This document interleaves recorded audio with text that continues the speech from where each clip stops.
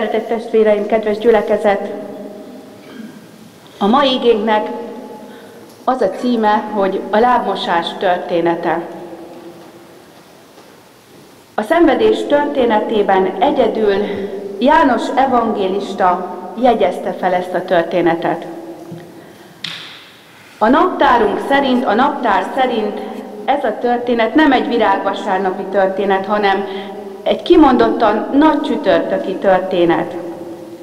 Két dolog azonban alkalmassá teszi arra, hogy most ezen a virágvasárnapon felolvassuk ezt az igét, és hogy szóljunk róla egymás között. Az egyik szempont a formai szempont. Virágvasárnap ugyanis a nagy hétnek a kezdete. A többi, többi evangélista a jeruzsálemi bevonulás virágvasárnapi történetével kezdi a passiónak, a szenvedésnek a leírását. János evangéliumának 13. fejezetében a lábmosás történetével kezdődik a passió. A másik egy tartalmi szempont. Virágvasárnap Jézusban az alázatos király vonul be az ő népe fővárosába. Úgy vonul be, ahogy a próféta előre, több ezer évvel ezelőtt megírta, hogy mi fog történni majd. Azt írja, mondjátok meg Sion lányának, én hol jön neked a te királyod alázatosan. A lábmosás történetében ugyanez az alázatos király áll előttünk. Csak most nem ünnepi bevonulásos diadalmenetben, hanem az otthonában láthatjuk Jézust, az övé között.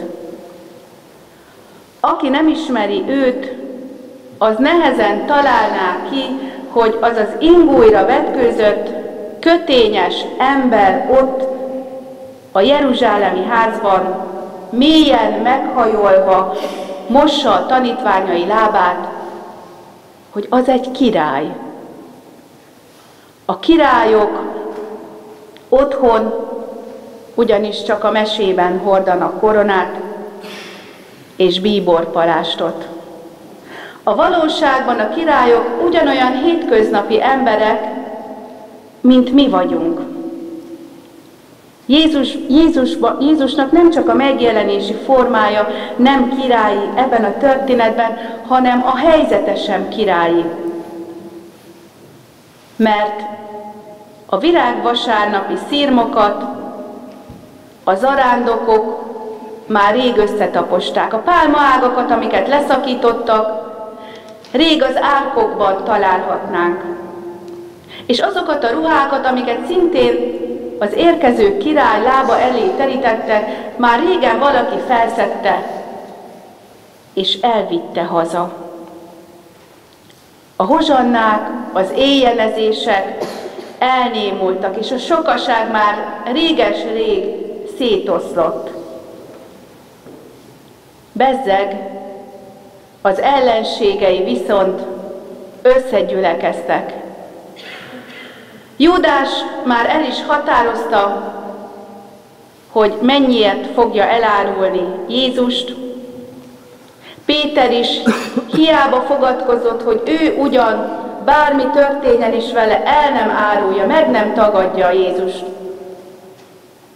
De mi már ismerjük a történetet, hogy háromszor is megtagadta Jézust.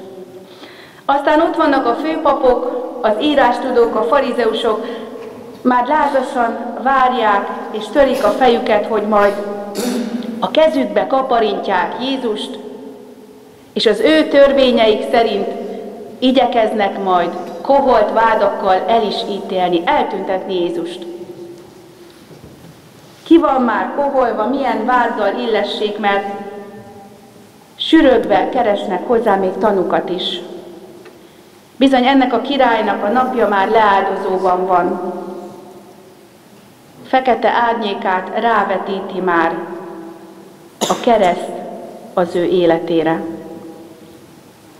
De Jézus jól tudja, hogy eljött az ő órája, tisztában van vele, de királyi trónja magasságából nézi az eseményeket. Abban a távlatban, amiben nézi az eseményeket, úgy látja, hogy ő az Istentől jött, és oda is fog visszamenni.